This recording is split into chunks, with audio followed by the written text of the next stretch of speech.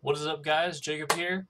Now, tonight for the Xur stream, we're going to be doing it on Twitch. My girlfriend and I have been starting to stream, and um, it's part of our master plan to slowly move everyone, uh, not off of YouTube, but we just want to get more people onto Twitch so that you guys can be more aware when we're streaming and um, and stuff like that. Because I know there's uh, quite a few of you guys who actually would watch us if we, you knew when we were streaming and stuff. So.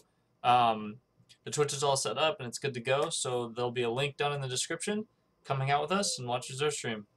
Later, guys. See you there. Hopefully. Hopefully.